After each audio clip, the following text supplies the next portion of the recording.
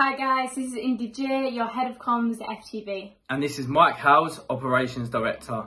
And this is a huge apology, but our streaming integration failed us and YouTube won't let us stream for 24 hours. So we had to do this pre-recorded video for you guys, but we will be going live next week. So I'm just going to read through today's agenda for you. Okay, so we've been approved for listing and have the funds to list on the following top CEXs.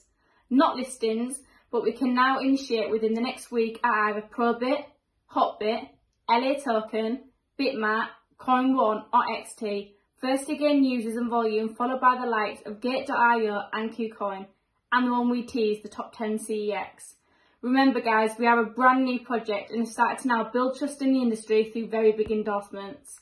Okay, so once we achieve 6 million in 24 hour volume and we become interoperable within the OKEX chain via our Knowles SCO, our new BDM who works at Knowles and OKEX Essam. He is confident we will be there too. This was the top 10 CEX we teased due to our new hire. Essam, who works there, and the conditions and targets have now been set. Our next on the agenda, guys. So, the Knowles SEO will be launching in the next three days. This is a launchpad and st staking service that allows staking and liquidity raising of one of the most innovative blockchains around.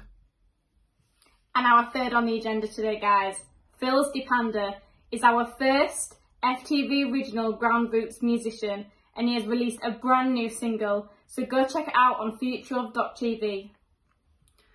Right, so the final one on the agenda. Through our relationships in the industry, we are now arranging an absolute monster of a fight night.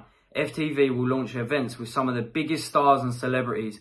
More news on this soon. We're also working with huge stars and our legal team is wrapping all the terms and conditions up now. So it won't be long before you see FTV.